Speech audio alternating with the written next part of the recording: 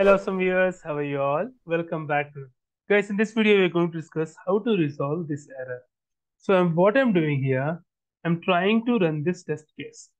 So, if I'm running this test case, what is happening in the sense, it is trying to launch the browser, but it is not getting to, it is not understanding what to launch, and why it is happening. We'll see here. Let it run. Now you see it will start the Chrome driver. So then the execution. It has launched the Chrome driver again. It has started three times. You can see the it is failed. Why it is failed? We we just see the latest version here. What is trying to launch the Chrome driver which it wants to launch is 113. But what is the version which we have is 115. So even though in my webdriver.io.config.js I have given this services, it is it should directly launch. But why it is not launching, we'll see now. So let me share the browser. So we have something called Chrome service. So in the services, what we have to do, just we'll copy this and we'll just add it in the entire services section. So control C, control V. And after this, we have to add one more thing. So we have to also add Chrome driver custom path. So let me share the Chrome driver custom path there. So let me share the browser screen again. So you see this now. So we have to go down and we have to add the directory. So this Chrome driver custom path.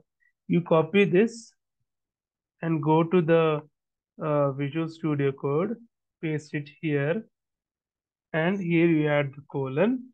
Uh, here you have to add the entire path where you have to download. So let us download the Chrome driver path. So for that you have to go here guys. So this is the place you have to go chrome driver.chromium.org. You have to click here the Chrome for testing available dashboard.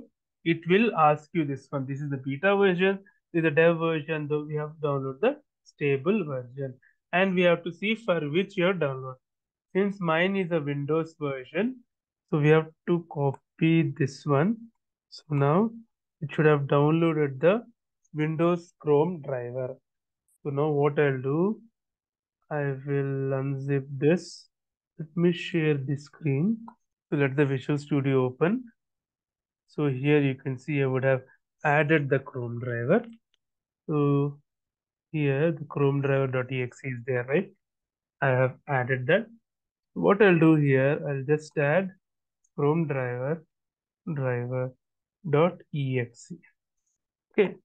So stating that it is there in the so chrome driver exe is there. Okay. So now let me run this. So hopefully it should work now. You see it has launched the browser.